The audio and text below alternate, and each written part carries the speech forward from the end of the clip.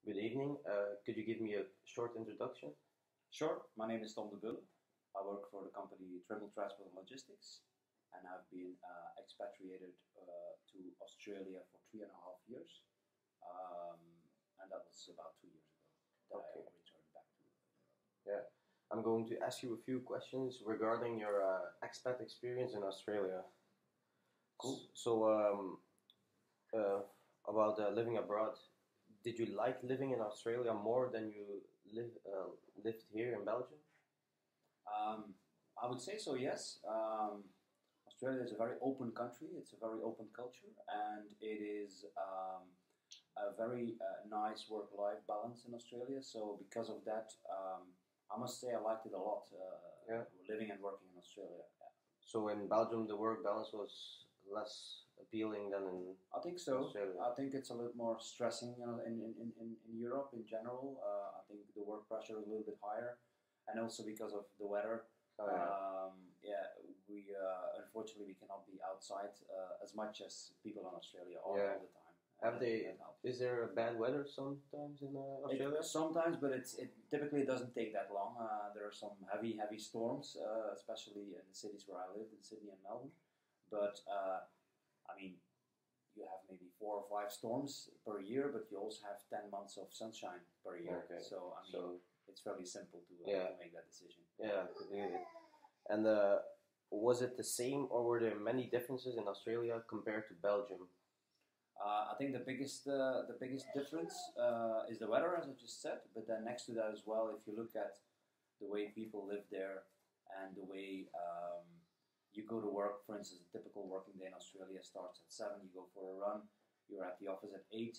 You work until four, and then you go to the beach. So that's definitely a big difference, first of all. Uh, but it's also a very nice uh, nice way of, of, of working and living at the same time. Yeah, yeah, I could imagine. And how was uh, the working environment in Australia?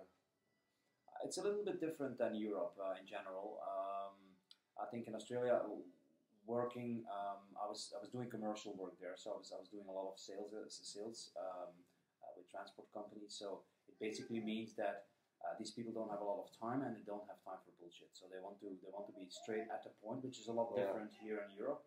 Especially if you go to Holland, for instance, there's a lot of talking and, and talking and talking without really saying something. Uh, and in Australia, when you say something, it has to mean something.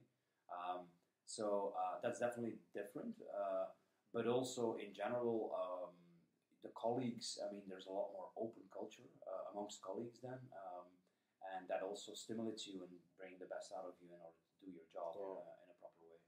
So, uh, would you say it's more uh, the working environment in Australia is more to your liking than in Belgium?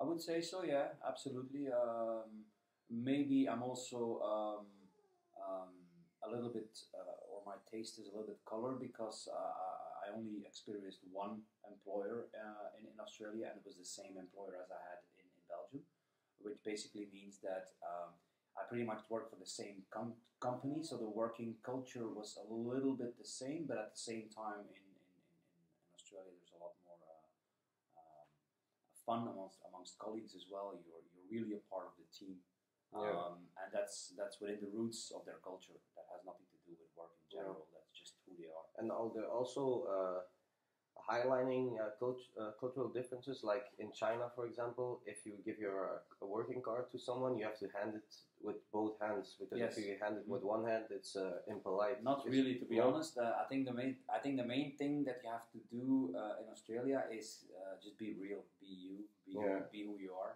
uh, and. Uh, um, there's not a lot of specific etiquette or specific things you need to worry about or think about. No. uh, except be polite uh, um, and just yeah be who you are. That's Yeah. the most important. And is there also, uh, do you notice the hierarchy in the company there? There's a lot more politics. Yes. Yeah, yes. more there's a lot more politics. politics. Yes. Yeah. Uh, in general, in business, there's uh, I've, I have the feeling that the politics are there mainly because uh, a piece of job protection as well. Typically, the Australians have the higher functions in companies, and all the migrants uh, are a little bit lower. Um, that's not all the time, but, but most of the times that's the, that's the case. Uh, and then, of course, yeah, because of the politics, it's uh, sometimes it's less easy to uh, um, to accomplish your goals because you're blocked on several political levels, you Yeah. cannot, which you cannot uh, attack. And um, now I'm going to ask you a few questions about adapting abroad. Was it hard getting adapted there in the beginning?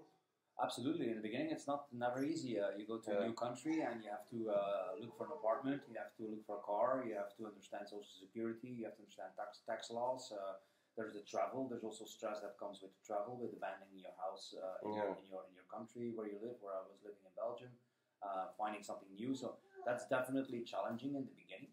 Now, as soon as you go over that, go, as soon as you overcome those challenges, typically that happens the first six months. Uh, you can relax a lot more, and, can uh, flow into the lifestyle or in the life that you Yeah. that you have there, uh, which makes it easier again. Uh, but still, the, the differences are all the time present. Uh, differences in, culture, differences in, in, in, in meeting people as well. Um, so yeah, it was hard in the beginning, but after Yeah. a while, I relaxed. But then and what you said about the social security and that, you have to study something, no? Or how did they, how did you learn those things? Well, um, luckily, I, I, I- I was in contact because of my employer. I was in contact with a company that helped me a little bit on that piece. Um, but yes, you need to know, of course. Uh, uh, you compare it a little bit to Belgium, first of all. I mean, you know, you know what you pay in Belgium. You know what you Yeah. arrange. You know uh, how your uh, how- how your medical insurance, etc., is is is is, uh, is worked out here. And then you basically look for the same uh, Yeah. methods over there. Uh, luckily, I did a, a piece of that before I actually left but there's still a lot of surprises as soon as Oh, you yeah. land, as soon as your feet hit the ground. Uh, there's a lot of stuff that comes at you, and sometimes you don't know what to do. But I mean, at the end of the day, you overcome everything. It's Yeah. And uh, was it hard not seeing your family? that's definitely a hard part. I mean, it's it's far away. It's a 30-hour trip from door to door, uh, from where we live in Belgium to where we lived in Australia. Um, so yes, um, you do miss your family. You do get Yeah. homesick sometimes, uh, but then you enjoy life over there, and you, you take what's you you say carpe diem, take what's there every Yeah. day, and you just enjoy yourself over there and overcome that that homesickness. Um, luckily, I could travel back and forth um, to Belgium fairly often, uh, which of course helped as well.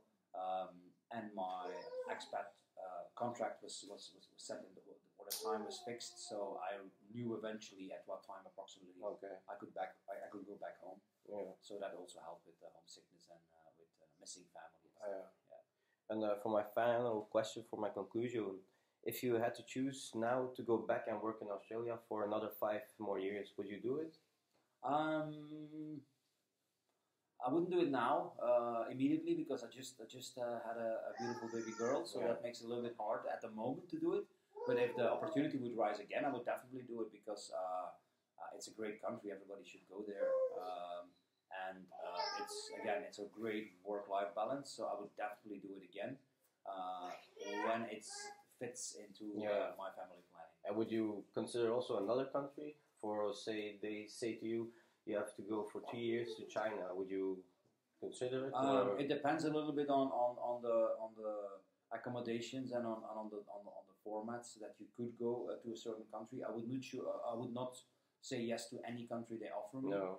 Uh, for instance, China, there would have to be a few good conditions to the contract before I would go to China. Um, but never say no. Uh, but my preference at this time would definitely still go to Australia. Yeah, Yeah. absolutely. Okay. Thank you for your time. No worries. You're very welcome. Wish you good luck with your studies. Thank you. No.